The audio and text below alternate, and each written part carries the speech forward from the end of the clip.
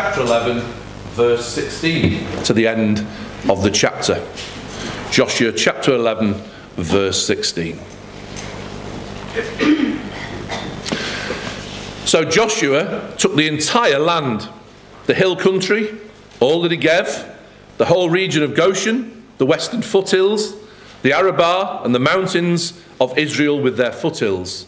From Mount Halak, which rises towards Seir, to Baal Gad in the valley of Lebanon below Mount Hermon, he captured all their kings and struck them down, putting them to death. Joshua waged war against all these kings for a long time. Except for the Hivites living in Gibeon, not one city made a treaty of peace with the Israelites, who took them all in battle. For it was the Lord himself who hardened their hearts to wage war against Israel, so that he might destroy them totally, exterminating them without mercy, as the Lord had commanded Moses. At that time, Joshua went and destroyed the Anakites from the hill country, from Hebron, Debir, and Anab, from all the country of Judah, and from all the hill country of Israel. Joshua totally destroyed them and their towns. No Anakites were left in Israelite territory. Only in Gaza, Gath, and Ashdod did any survive. So Joshua took the entire land just as the Lord had directed Moses, and he gave it as an inheritance to Israel according to the tribal divisions.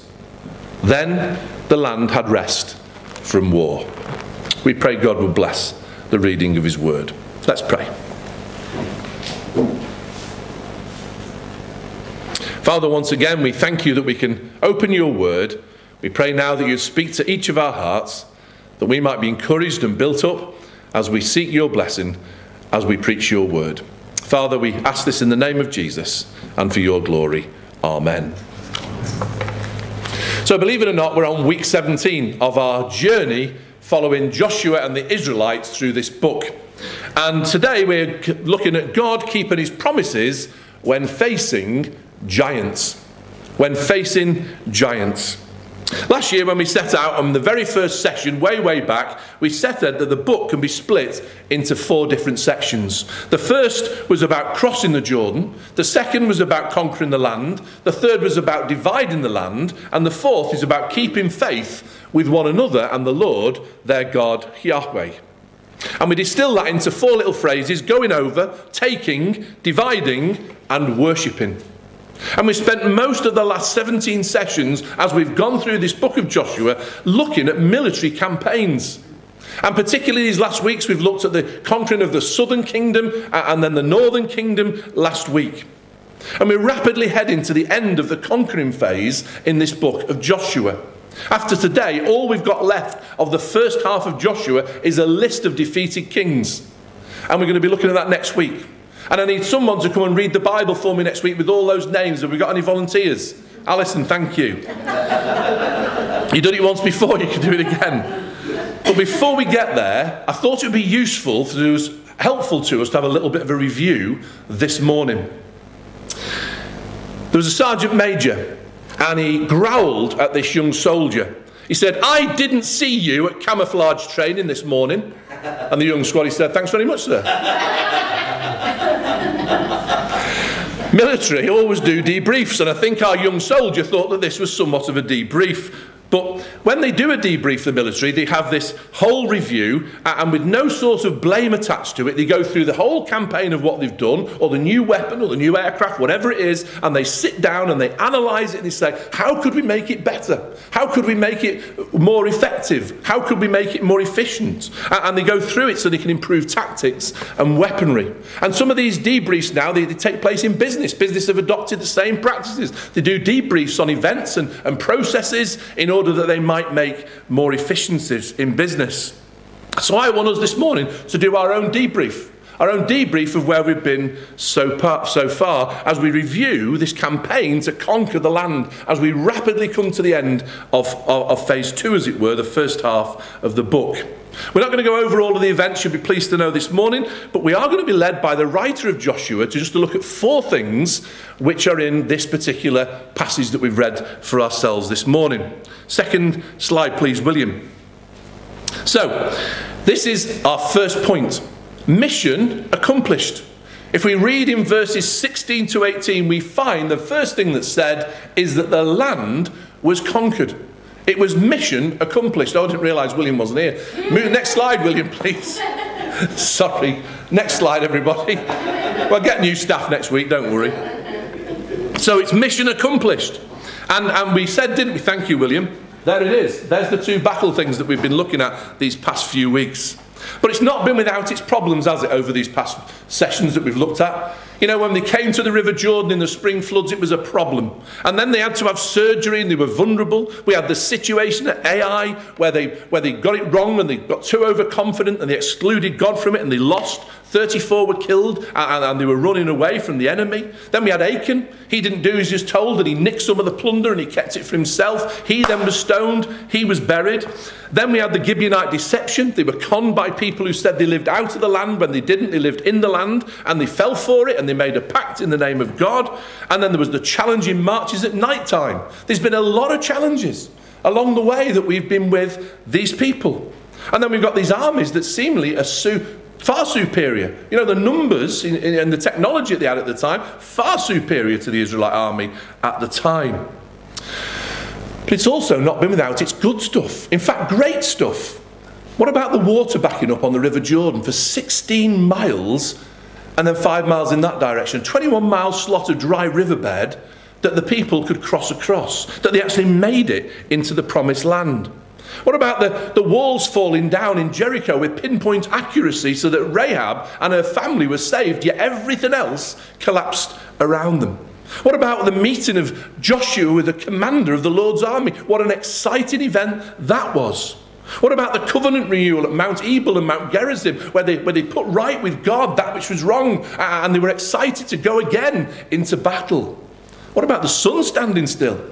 Just a couple of weeks ago, we talked about the, the, the, cosmic changes that God caused, that the day might be extended, that the battle might be won. It's been an amazing experience, hasn't it, for Joshua and the Israelites? It's been an amazing time that we've been privileged to read about. And I hope it has been for you and I too. Because life's like that, isn't it? There's good bits and there's challenging bits, and it's a bit like up and down. But we find in verse 16 that ultimately Joshua took the entire land.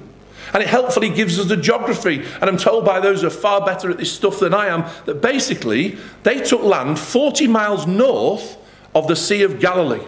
So picture the Middle East and Canaan, and you've got the Sea of Galilee, and 40 miles north of it, they occupied the land, they, conquered the land rather, and then somewhere between 5 and 40 miles south of the Dead Sea. They're not that accurate on this because there's a dispute about the exact location of where they think Mount Halak is in, in the description there, but it's either 5 or 40, so it's a big area. It's quite a stretch down that they conquered in this campaign. So we learn the geographical area of this conquest. So they've won and they've conquered the geography that God had given to them as the promised land. But how long did this take? Well, in verse 18, in this summary, in this debrief, it quite clearly says that Joshua waged war against all these kings for a long time. Now then, We've read a few chapters which ordinarily you could probably read in 20, I don't know, 30 minutes, depending on how quick you read. Uh, it wasn't, we think it was some sort of blitzkrieg that was taking place, and they swept through the land, battle after battle after battle, and it was all done and dusted by the time that we finished our own daily devotions in the morning. Not so. The best estimate is that this campaign, this that we've been looking at, took seven years. Seven years of ongoing battles. And this is based on Caleb being 40 when Moses sent him and Joshua as part of the group of spies. Remember the 12 spies that went to the land and they went into for, for 40 days to spy out the land? Well, Caleb was one of them. And when he went, he was 40 years old. And we know from Deuteronomy that the time when the spy, from the time that the spying mission actually uh, entered the land to when they actually got there, it, it was another 38 years. So Caleb was 78 when they crossed over and went into the land at the start of the conquest. And we know from a later chapter, chapter 14 in Joshua, that we'll come to sometime, that Caleb was 85 when he was given the land that was going to be for his tribe. So there were seven years in which these battles were taking place. And most commentators agree that that is the period of time that Joshua had had to battle with the Israelites in the land of Canaan. We also know, don't we, that God said it would happen over a period of time. He said it's not just going to happen quickly, else, you know, you won't have enough people to populate the land. It's going to take time. And, and I'm going to be with you, but it's going to take time. Now, then, in the same way, we now know that the mission's accomplished, we know the geographical area, and we know that it took seven years. We know that it was a tough time. We know that God was with them throughout and that He helped them and He led them and He gave them instructions. We know that even though God was active in conquering the land and was in specific acts that we've seen throughout Joshua as we've gone through it, that they weren't the people sat in Gilgal back at the camp, uh, you know, with their feet up for seven years, waiting to wonder what colour paint they were going to use on the front door when they finally moved in uh, and occupied the land. They were involved. And in the same way, we've learned that we, as God's people today, we're operating to God's plan just as they were operating to God's plan. Because God has sent Jesus and he fought the battle and he's won the battle at the cross. We know that, don't we? Hallelujah. This morning he's won the victory. But we know that God allows us to fight for him and that he gives us specific battles which he equips us to fight for him here and now in this world. And we know that some of these battles, they're long, aren't they? They're long campaigns. Think about here. 35 and a half years the church has been here trying to reach the community of Appleton, and guess what? They're not all saved yet. 35 years. The campaign for Appleton Cross started years ago when a group of people walked around it more than 10 years ago. These things sometimes take time. And then there's the battles that we, we personally face. You know, the things that you've been praying about perhaps this morning battles with sin, battles with health, battle with doubts, battle with relationship problems, battles with bereavement, battles which are long, strenuous, tough battles. But we know, don't we, that no matter how these long these battles go on, that God keeps his promises. And he promises to be with us throughout. He promises to supply all our needs when we're going through those long battles. And we also know the territory, don't we? We know the territory. We know that territory which God has won. His kingdom, it called it his kingdom, don't we? It's not a place. It's you and I. We are his kingdom. It's his people. And this kingdom of his continues to expand. And we're part of this place. We're part of God's kingdom. It's our inheritance for which Christ died for us.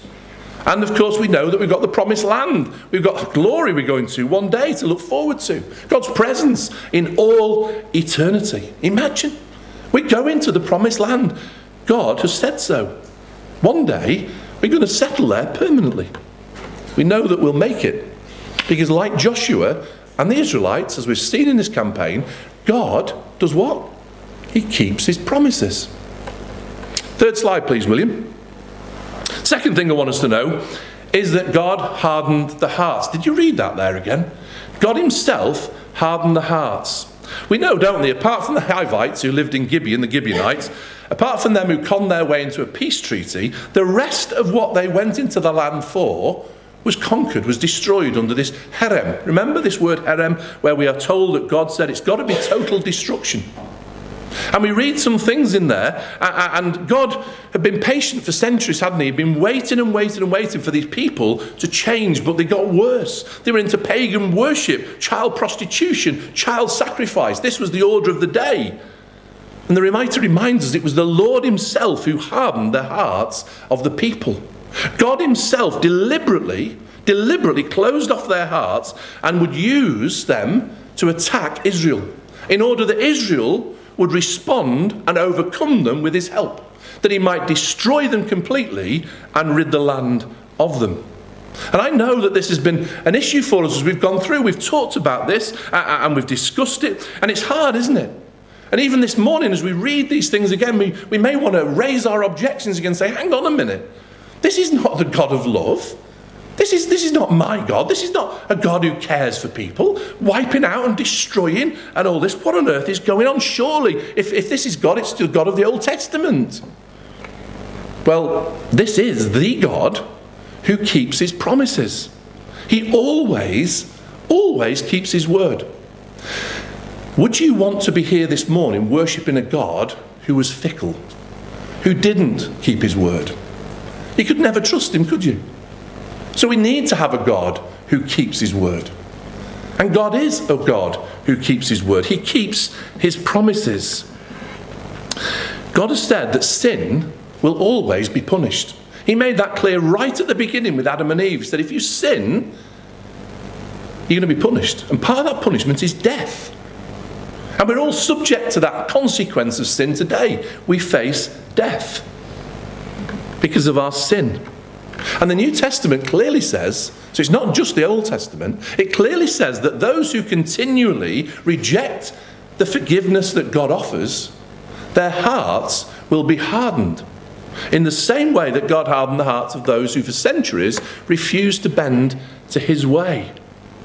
Ultimately, those whose hearts will be hardened will be destroyed.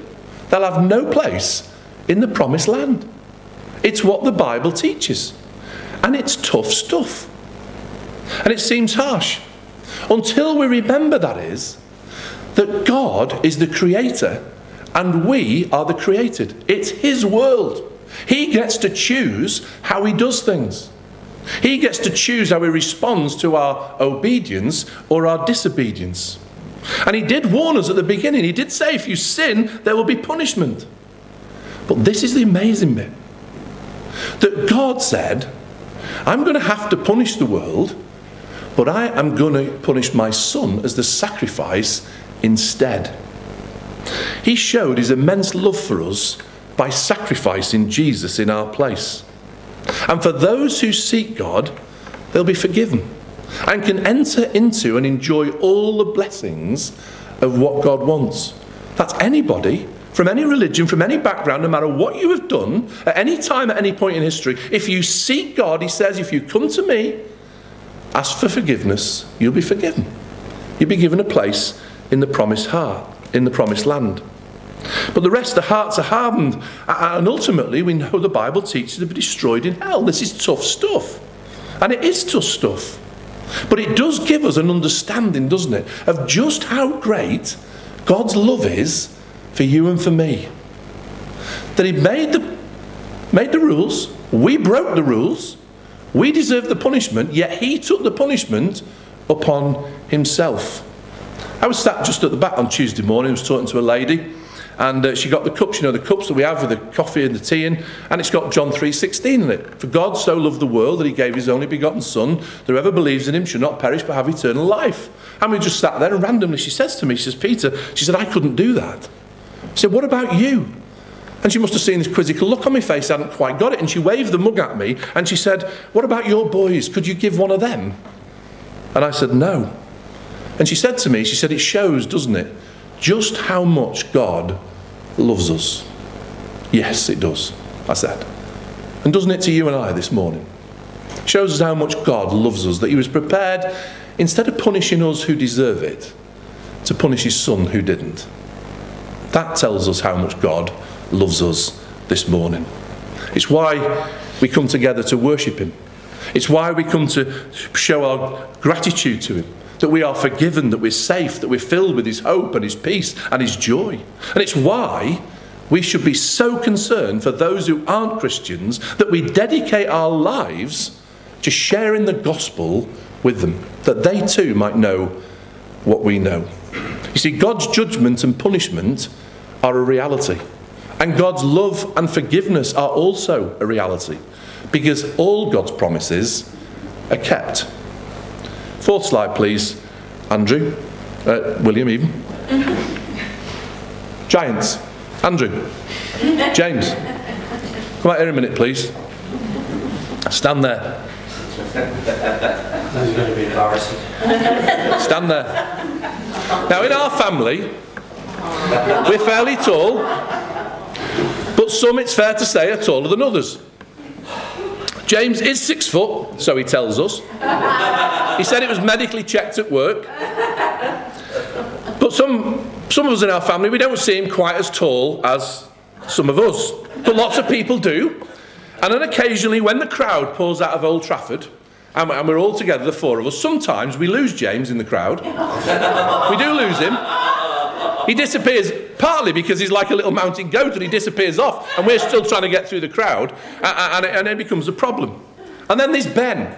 So I'm going to stand in for Ben today. I'd be in there in the middle. Uh, and this Ben, he's probably taller than me now, but don't tell him that. We'll edit that bit out afterwards. Uh, and people tend to look up to him, and he rarely gets lost in the crowd at Old Trafford. And then there's Andrew. Nearly everyone looks up to him, and often they fear him. but we never lose him in the Old Trafford crowd. And we often use Andrew to look for James when he disappears. Now then, as big as Andy is, he's not as big as an Anakite. Andrew, would you come over here, please? James, you can help your little brother. Come stand next to here. He's going to stand on the top step of those ladders, and I'm going to hope and pray that they hold. Okay, so this is James. He's reasonably big. Andrew's always big. But Andrew, at that height, is not far off where the Anakites were. Imagine that you were going to have to fight the Anakites. James, how are you feeling now, son? You'd headbutt him where it hurts. Right, James, you can go and sit down. Andrew, can you stay there for the rest of the sermon? No, get down. He served his purpose. Round of applause for the boys.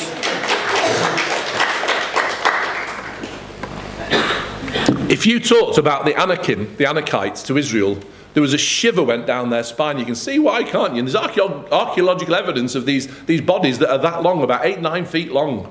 Can you imagine? Can you imagine an army that stood against you, these Anakites?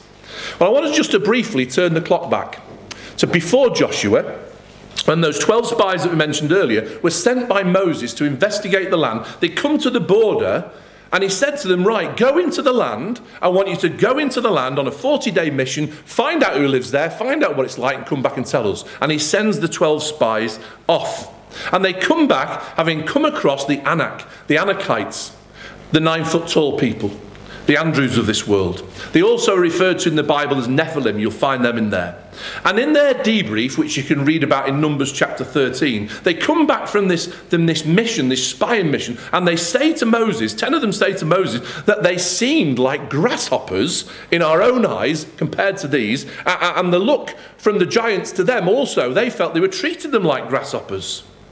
And as a consequence of this, the spies gave a bad report about the land to Moses.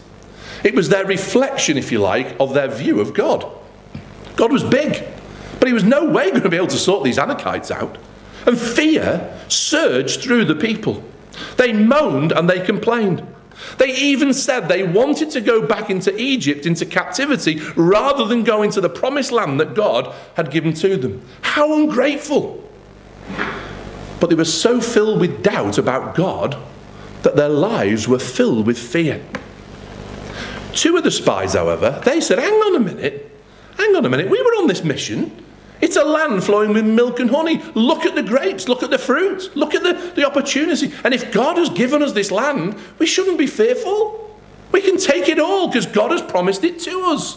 Well, the people, they wanted to stone these two because they were already that fearful. Oh, don't listen to them, Moses. Get rid of them. But God wasn't happy with the ten spies, was he? And he brought a plague, and eventually they, they, they were seen off by a plague. And God said this He said, I will forgive this nation, Moses. But here's the thing He said, Not one of the people who, who I rescued out of Egypt is going to make it into the promised land. For the next four decades, you're going to have to wander around the wilderness until they've all died out, and it's their descendants who will go and occupy the land. Only two people are going to go into that land who came out of Egypt. One of whom, of course, was Caleb, who we mentioned earlier, and the other is, of course, none other than our very own Joshua, son of Nun, who is now leading these people who's conquered the land. And I think it makes it really interesting because you see, in this debrief review, we've had the southern and we've had the northern kingdoms, and then we've had the conquered list of all these people. And then at the very end, almost as an afterthought, they say, oh yeah, and we conquered the Anakites as well, and we completely destroyed them. Oh, and the towns, completely destroyed. It's interesting, isn't it? Barely a mention about these Anakites. Not even included in the detail of one of the major battles. And all that fear and all that lost opportunity because they feared the giants for four decades. Then they destroyed them completely. And in the debrief, there was barely a note about them. What of your giants this morning? What about your giants? What about your fears this morning? What's stopping you trusting God? What's stopping you entering into all that God wants to give you? What's holding you back because of fear, because of doubt? Maybe you've got doubts about God. Maybe you, you, you, doubt God can save you. Maybe you're fearful that you've been so bad in your life that God is not interested in you. He couldn't possibly want to bless you because of who you are or what you've done. Maybe as a church, we're not enjoying all that God wants to bless us with because we fear the giants. We fear that God won't help us, that He won't bless us, that the problem's too big for Him. Maybe we doubt that God can save us from the enemy. Maybe we want to go backwards instead of forwards. What giants are causing you to fear this morning? In Pilgrim's Progress, that famous book, John Bunyan describes Christian's approach to the Palace Beautiful. It's where he hoped to get lodging, and he began to walk down this very narrow passageway leading to the porter's lodge. And while he was doing that, he saw two lions in the way. And Bunyan said that the lions were chained, but he saw not the chains. And that's frequently our case, isn't it? We fear because we don't see the chains. Yet the fact that Christ sits at the Father's right hand, far above all the rule and authority and power and dominion, and that he has all things under his feet, according to Ephesians, it means that the power that would destroy us is chained. It can't destroy us because it's chained, it's bound by God. And sometimes we don't see the chains. All the ten spies saw were giants. They saw giants who they feared. They didn't see what Caleb and Joshua saw. They didn't see a land flowing with milk and honey and grapes and all the good things that could be theirs. They didn't twig onto the fact that because God said so and because God is all powerful, all knowing and everywhere, that it was entirely possible that they could go and take this land, Anakites included. That God was greater than any and all of the enemies. God kept his promise even with the giants. The Anakites were the first thing that the people feared when they first made the very first foray into the land. And they were the last thing that was reported in the debrief having conquered the land. God knew that he would defeat the giants. Those that didn't believe that, they missed out. They missed out. Those that didn't believe that were, they, they, were on the day the giants were defeated by the God whom they trusted and who kept promises. They, they didn't believe and they missed out on all of it. But those who did trust, they, they, they got the benefit. They went into the promised land, they, they conquered the land. Joshua led them.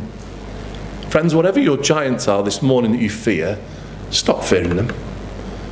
Stop fearing them as an individual, as a church, because God keeps his promises. God keeps his promises even when it's tough, even when there's Anakites, even when there's giants, even when things threaten to overthrow us.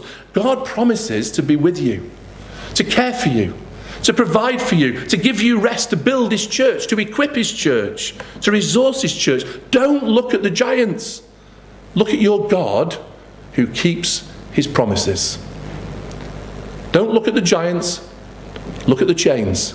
God has it all under control. Finally, a final slide, William, number five, please. Rest. Rest. After the land was conquered, we read in the debrief, the very last thing it tells in the review, that the land was at rest from war.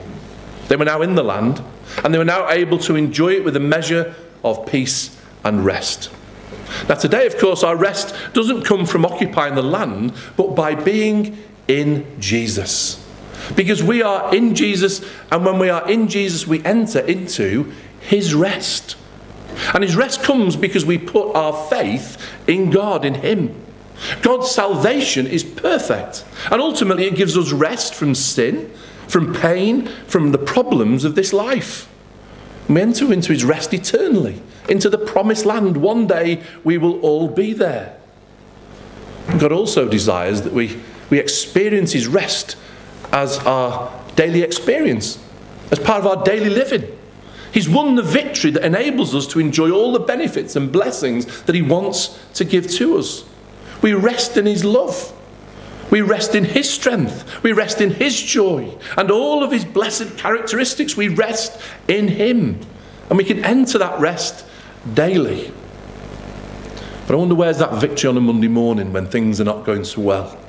when we're moody and we lack joy, when we're frustrated and irritable and impatient, when, it's, when we doubt and when we fear, when we're under the weather, when, when, when we do all those things and we, we lose our rest because we start to look at self instead of being in Christ and we fail to see Jesus.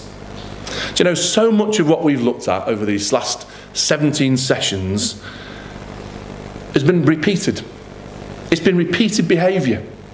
In our debrief, we can see that when Joshua and Israel did what God told them, and they did it his way, there was victory and there was blessing. When they did it their own way and they went off on their own, when they doubted, they were defeated and they had no rest.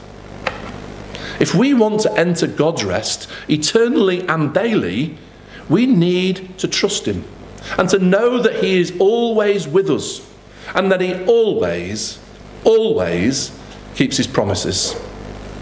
The great missionary Hudson Taylor, who was a great missionary in China, he wrote a letter to his sister back home in England.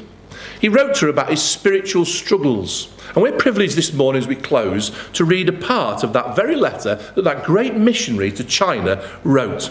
I'm going to read it for you. He said, Each day brought its register of sin and failure, of lack and power. Then came the question Is there no rescue? Must it be thus to the end, constant conflict, and instead of victory, too often defeat? I hated my sin and yet I gained no strength against it. I thought that holiness, practical holiness, was to be gradually attained by a diligent use of the means of grace. I felt that there was nothing I so much desired in this world, nothing I so much needed, but so far from in any measure attaining it.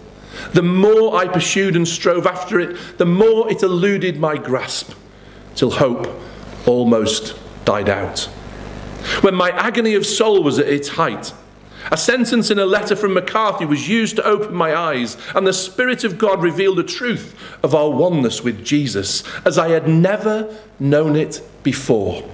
I looked to Jesus and I saw, and when I saw, oh, how the joy flowed that he had said, I will never leave you. Ah, there it is, I thought. I've striven in vain to rest in him. I'll strive no more.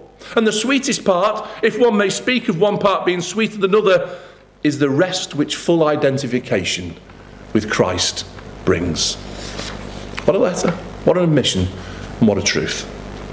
And then in the late 17th century, Brother Lawrence in France wrote, wrote this In the noise and the clatter of my kitchen, while several persons are at the same time calling for different things, I possess God in as great a tranquility as if I were on my knees.